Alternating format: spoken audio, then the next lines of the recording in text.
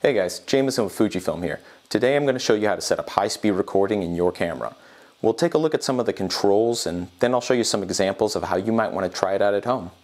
High-speed recording, or high frame rate recording, is called that because you take more frames per second than regular video.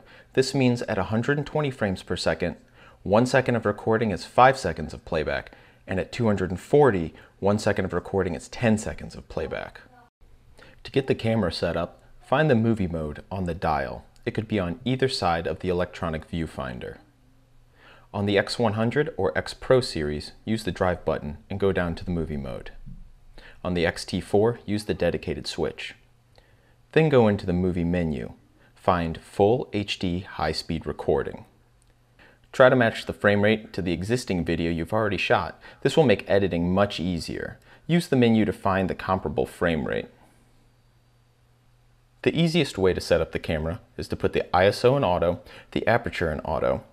You can manually set the shutter speed. If you're trying to observe the 180 degree shutter rule, set it twice as fast as the existing frame rate, so 240, 250th, or 500th of a second. If you don't understand what that is, set the shutter speed to automatic. Now let's look at some examples of high-speed recording. We always see it in nature documentaries. It helps slow down fast-moving animals so we can see things that we wouldn't otherwise with regular speed video. But high-speed recording can be used in a lot of other ways. It can help add emotion or depth for insert shots in existing video projects, gives us a unique perspective on things we've seen before, and helps break up the flow of the video. This will keep the viewer engaged. And while high-speed recording is a great tool, there's some guidelines to use it effectively. One minute of recording can be up to 10 minutes of playback. That's a lot of time trying to find the shot you want.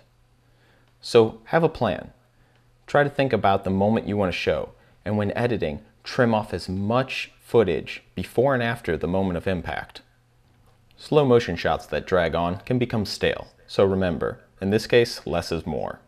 And while these guides are helpful, they're not rules that can't be broken. It's about experimenting and seeing what you can do with a new tool. So now you know the basics of setting up high-speed recording in your camera. Play around with it and see what you can come up with. The most important thing is to just have fun. Be creative. And join us for another workbench from Fujifilm.